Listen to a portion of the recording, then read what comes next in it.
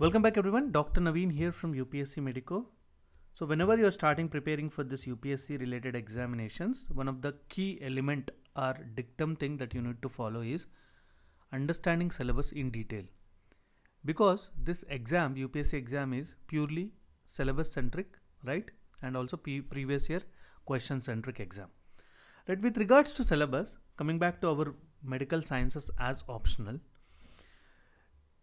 you need to analyze the syllabus in detail and also you have to look at the previous year questions. Based on that we usually learn the previous year topics right? So this is the best way to follow for any UPSC related exam. Now understanding syllabus we have a separate video in detail okay? And also focus guide free focus guide is available in the website. You can download it. What is the need for this particular video? If you look at anatomy there is one confusing thing okay? In the anatomy there are some questions based on gross anatomy. There are some questions recently in the exam, final exam, there was a question on surgical anatomy. Some topics are covered under applied anatomy and some topics under clinical anatomy. If you observe the syllabus also, you can see here, you have gross anatomy of tongue, thyroid, mammary gland, stomach, liver, prostate, gonads and uterus. Okay you have applied anatomy of diaphragm, perineum and inguinal region and you have clinical anatomy of kidney, urinary bladder, uterine tube. See, if the heading is clinical anatomy of kidney, urinary bladder, uterine tube, vas deferens, they'll only ask clinical anatomy in the exam. They'll not ask you gross anatomy. Okay.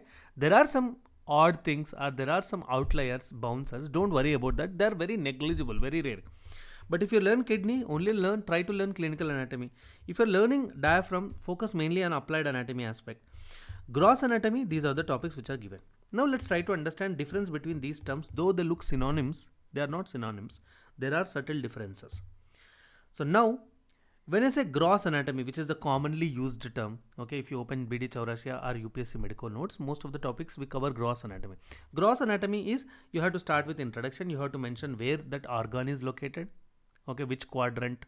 Like if you take liver, liver is mainly in the right upper quadrant, right? Similarly, you have to mention the weight if you know and very importantly the surfaces and borders anterior, posterior, inferior, anterior border, posterior border and also relations. What are all the organs which are related anteriorly, inferiorly, posteriorly. So these are the headings that you need to follow for gross anatomy. It's simple and easy. Coming back to applied and clinical anatomy, yes, they are synonyms most of the times, but there are subtle differences. Just look at the topics under which they are asked. Upper limb, applied anatomy, lower limb, applied anatomy joints, applied anatomy, diaphragm, perineum and inguinal region. When you observe these topics, these topics, perineum and inguinal region injuries are seen in sports medicine.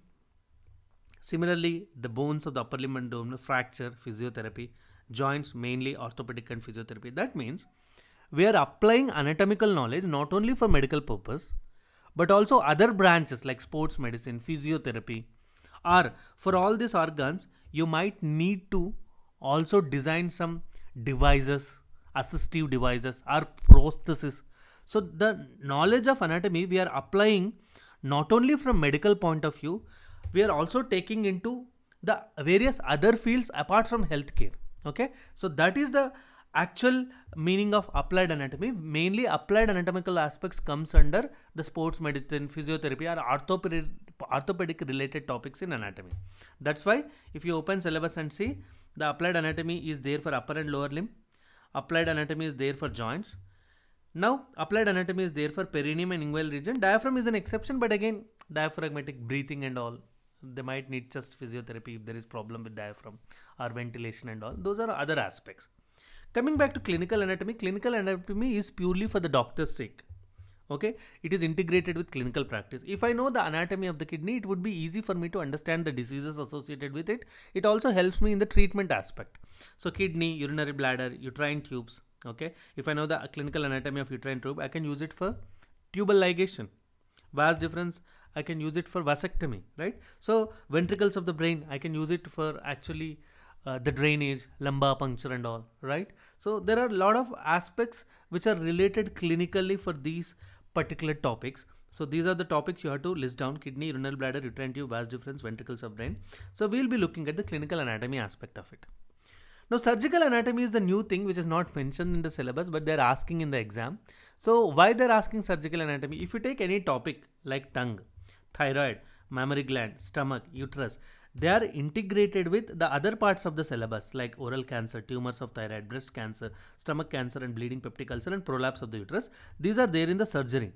So surgery, when you open Bailey and Love, okay, if you see these topics, at the introduction are the first page of these topics surgical anatomy is mentioned. So for these integrated topics with general surgery you have to know the surgical anatomy that is tongue thyroid mammary gland stomach and if you know the lymphatic drainage of the mammary gland it helps in lymphatic resection right? If you know the blood supply of the thyroid gland then you know way to ligate it to avoid injury to the blood vessels.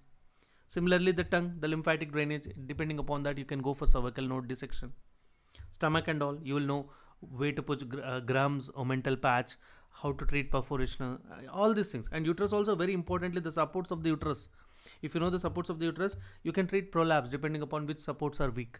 So this is surgical anatomy. So that's why they might ask anything the answer is same but when you understand actual terminology it makes makes it easy. Like if they ask applied anatomy don't just mention clinical part. Also mention it is also used in sports medicine physiotherapy prosthesis and all. If they ask clinical anatomy stick to the clinicality like how it is useful for medical. Surgical anatomy focus mainly on the anatomy which is relevant to surgery. Like when they are doing surgery how they integrate it right? So applied anatomy as i said physiotherapist clinical anatomy for mainly for medical doctors surgical anatomy for surgeons. Okay now what i did uh, with all the video courses of upsc medico for upsc civil services examination for each subject I took some time 10 15 minutes of time I have recorded a video so that you will be able to understand syllabus and you will be to able to know the focus areas onto which you have to focus for this particular exam. So for all the subjects, understanding syllabus and focus areas there. So whenever you are started you're starting your preparation with UPSC Medico, first finish off the first video. So that will give you a lot of idea about how to go ahead with that particular subject. Okay, so this understanding syllabus videos are there with all the subjects. They are part of our UPSC Medico video course for UPSC Civil Services Examination, Medical Sciences as an optional.